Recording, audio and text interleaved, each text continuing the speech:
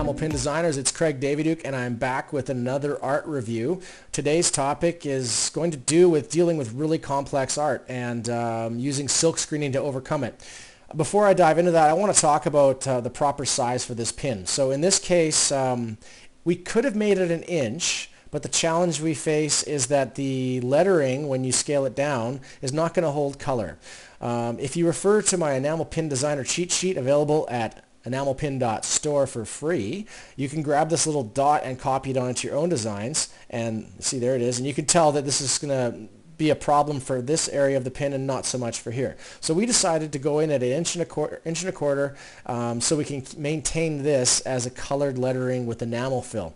Um, this crest up here, we could make this pin 5 inches wide and it still wouldn't be big enough to hold color. So how do we overcome this? We use a process called silk screening, which is exactly the same way they make t-shirts. Um, it's just done a little bit different uh, at pin size. And what we do is we um, use the hard enamel process. And the reason is, is that at uh, the hard enamel process has paint level with the surface. If you're unsure of what the different processes are, head over to our website and there's lots of pictures and tutorials on how to figure that out. Um, so let's dive into this. We have a two-color silk screen here to cover off the design elements in the flag. So let's just zoom in and see how we structured this. Okay, so we just basically took a blue box and put two color silk screen over top of it.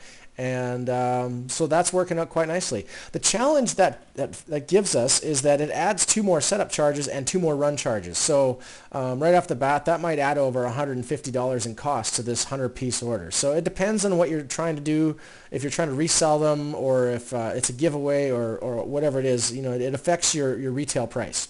So um, let's try and design our way out of this little situation here. So I've compromised in that um, I haven't gone any small. If I went to a one inch pin, I would have to silk screen these on. So that'd be a, a third design charge. The other thing I want to point out is that the A, the little internal here as we call it, is also filled in with metal. Uh, and that's because it's, again, too small to hold color. So the other thing I want to point out here is that this sun in the original art submitted to us was yellow. Um, seeing as we're using gold electroplate, you can make this raised metal. And then make these little uh, sunbeams raised metal as well. So um, the challenge we'd have is if we put yellow in here, it would look kind of goofy because it's a different color for the sunbeams. Um, we also use raised metal in the crown design. So um, yeah, that's some pretty advanced stuff for you there. If you have any questions, be sure to email me. Um, silk screening is a, is a great technique to use if you have a complex design, but in most cases, I'd, I'd recommend trying to design your way out of it before you even get to this phase. Like, who wants to pay extra when you don't have to? So I hope this helps. Um, please submit your questions and comments at enamelpin.store or ultimatepromotions.biz. My name is Craig Davidiuk, and uh, thanks very much.